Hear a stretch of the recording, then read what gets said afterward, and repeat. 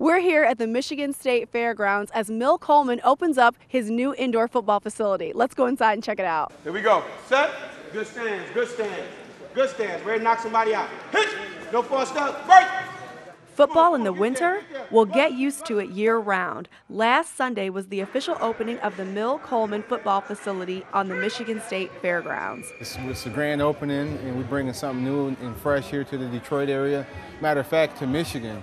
Um, we, right now, we have big man training going on right now. We got different stations going on, trying to help develop their footwork, uh, speed, quickness, agility, and fundamentals. The facility offers athletic camps geared towards every position in football.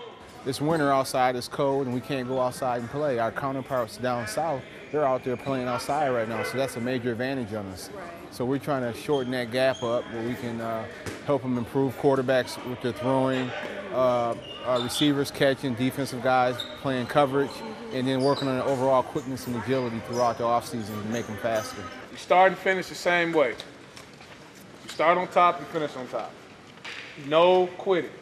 Athletes that get involved in the camps will have an opportunity to get extra work above and beyond from former college and NFL players. The experience of uh, learning from his coaches, because they're great guys. They teach you what they've learned from being in college and pros and all that, and it's really helping out my game, being more athletic. They're all great guys. I mean, they have professional experience and college experience, so it's nice to hear from somebody who had prior experience. It's always nice to work with people who had experience. That way they can pass it on to you.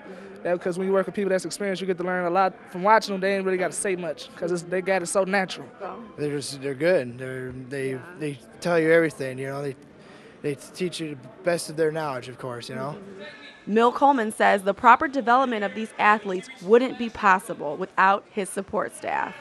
Yeah, I mean, I got a tremendous staff with me. Any team is only as good as the staff. Each one of our guys has played a Division One ball and are coaching at some level. Uh, we got guys that play divi- we got we got guys that play some form of college football, whether it's Division One or three. Big Ten is down. Speed kills, and I'm tired of it going down south. We can build, develop up here up north, and my, my main goal is to get these kids up here faster, faster than they've ever been before. And we didn't have indoor facilities like this, and this this is great right here. So this is definitely my motivation is speed.